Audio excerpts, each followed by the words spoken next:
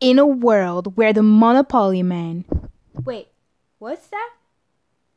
Dolores said what? Oh, oh, okay, okay, okay, okay, okay. Play as famous demonologist Dash for it and reenact his epic quest in front of a live audience.